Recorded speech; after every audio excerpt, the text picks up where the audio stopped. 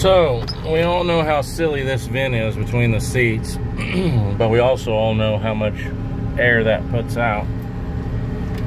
And it is ducted from right there over to the box, straight off of the air box. So it's got the coolest, best air of any of them in the cab. Well, this might look a little silly, but I got a lot more airflow now.